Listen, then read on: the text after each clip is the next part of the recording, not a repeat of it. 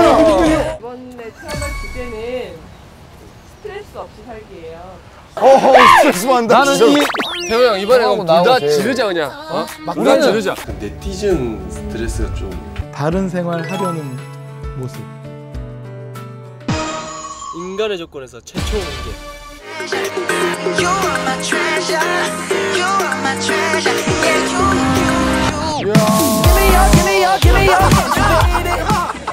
괜찮다. 아 이거 되려나?